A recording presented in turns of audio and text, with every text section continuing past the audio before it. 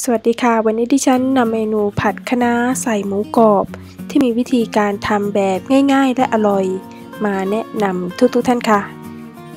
ก่อนอื่นเตรียมในส่วนของคะน้าที่ล้างน้ำสะอาดแล้ว เมื่อมีคะน้าให้นำคะน้ามาหั่นเป็นชิ้นๆ ตามตัวอย่างในวิดีโอค่ะ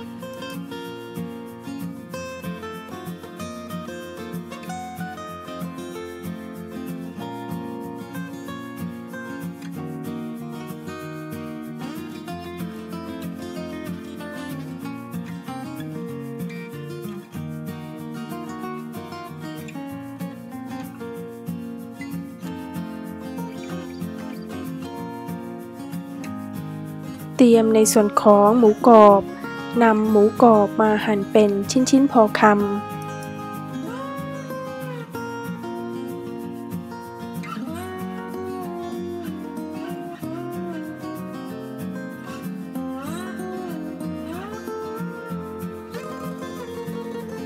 เตรียมกระเทียม เมื่อมีกระเทียมแล้วให้นำกระเทียมใส่คก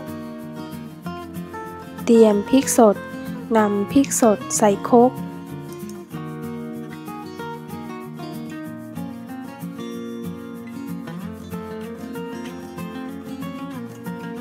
ใช้สากตำพริกและกระเทียมแบบละเอียดหยาบ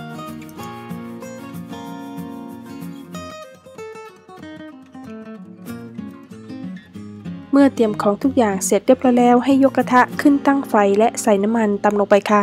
รอจนกระทั่งน้ำมันร้อน เมื่อน้ำมันร้อนแล้วให้นำพริกที่เตรียมไว้ใส่ลงไปในกระทะ ผัดผัดพริกและกระเทียมจนกระทั่งมีกลิ่นหอม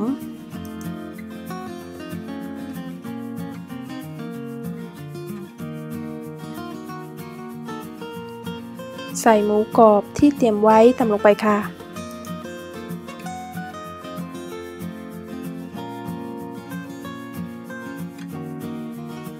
ใส่ผักคะน้า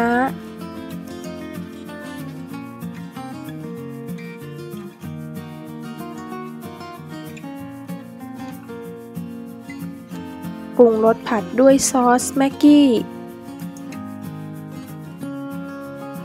ใส่น้ำตาลทราย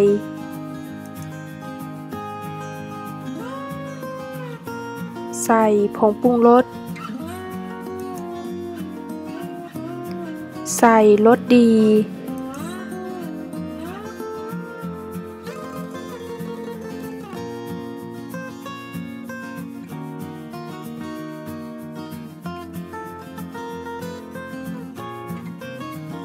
เติมน้ำนิดหน่อย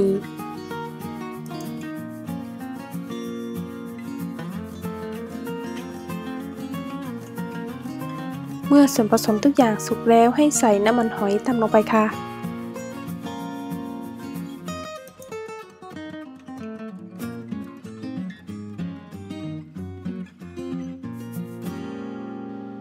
หากผัดแห้งไปให้เติมน้ำเพิ่ม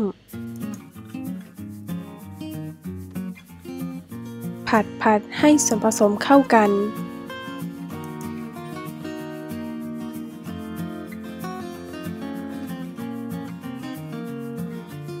ตักผัดคะน้าที่เพิ่งทำเสร็จ จัดวางใส่จานและเสิร์ฟได้เลยค่ะ